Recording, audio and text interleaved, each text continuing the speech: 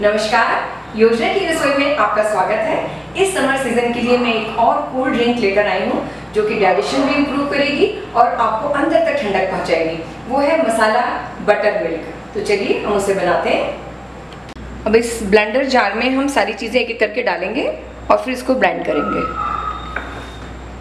ये एक कप करीब दही है। उसमें थोड़ी सी मिंट लीव्स थोड़ा सा क्रश किया हुआ अदरक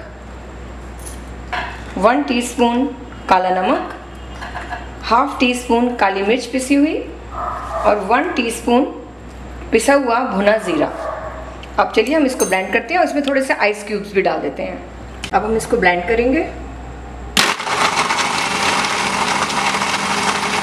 अब हम इसे ग्लास में सर्व करेंगे। तो पहले नीचे में आइस क्यूब्स डाल देती हूँ। थोड़े आइस क्यूब्स उसमें ब्लेंड करते वक्त भी डाले थे। और इसमें से ये मसाला बटर मिल्क डाल देंगे।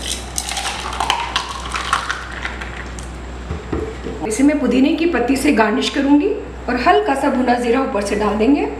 और ये अब पीने के लिए बिल्कुल रेडी है। अपना मसाला बटर मिल्क अब आप बनाइए, पीजिए इंजॉय कीजिए।